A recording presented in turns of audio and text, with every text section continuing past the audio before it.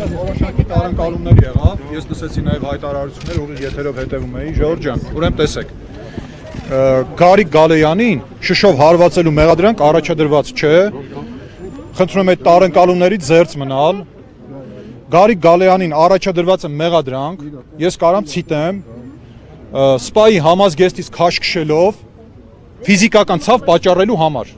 Հասկացաք, այսինքն ֆիզիկական ցավը պատճառվել է համազգեստին, մենք հիմա կմիշնորթենք, որպեսի համազգեստը ճանաչվի որպես տուժող։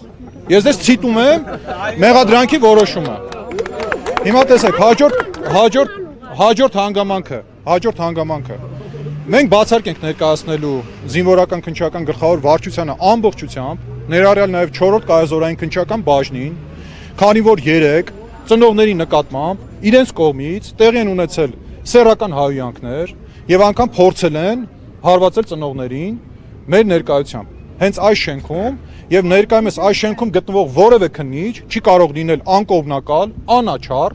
եւ կատարել օբյեկտիվ քննություն, քանի որ ինքը երեք եղել է ամբողջ քնչականը ծեծի եւ քաշքշուկի մասնակից։ Սա այս մասով, այսինքն մենք բացարձակ ենք հայտնելու ամբողջ քնչական մարմնին։ Հաջորդ հանգամանքին ինչի մասին ես ցանկանում եմ նշել։ Գալեյանը ձերբակալվել է քննիչի որոշման հիման վրա, դատարան ներկայացվելու համար, իսկ մենք հասկանում ենք դատարան ինչի համար է ներկայացում, այսինքն խափանման միջոց կալանավորում կիրառելու համար, թեպետ այդպիսի որոշում դեռևս կայացված չէ։ Հիմա ես մեկ անգամ նշեցի, եւս մեկ անգամ նշում եմ, որ դատախազությունը ունի շանս դրսևորելու կամք, համարցակություն եւ հետ վերցնելու այդ անօրինական որոշումը փոխելու առնվազն հիմա գոնե խափանման միջոց հետագայում կանդրադառնանք նաև այդ անհիմն մեղադրանքներին, որpիսի Գալեյանը չտարվի հիվանդանոց։ Ջորջան, Գալեյանը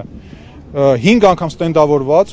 4 ներեգություն դատարան 5 անգամ ստենդավորված 4 ստենդը տեղադրվել է 2 շաբաթ առաջ Գալեյանի կինը 7 ամսական հղի է եւ Գալեյանը 44 օրյա պատերազմի մասնակից է վիրավորված, վիրահատված։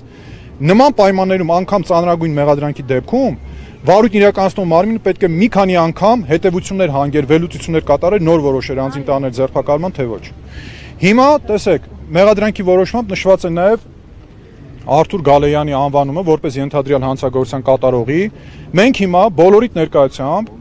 Արթուր Գալեյանի հետ միասին ներկայանում ենք ինքնական վարույթ իրականացնող մարմնին այն պայմաններում, երբ անգամ չի տրվել ծանուցագիր, անգամ արկա չէ բերման որոշում եւ մենք պարզապես մեր նախաձեռնությամբ տեղեկանալով, որ նաև նրան է ենթադրում հանցագործության կատարում, մենք ինքնական ներկայանում ենք վարույթ իրականացնող մարմնին եւ տեսնենք հիմա ինչ գործողությունների կդիմեն։ Եթե կձերբակալվի, ես դες անմիջապես կհայտնեմ։ Այսքանը շնորհակալություն։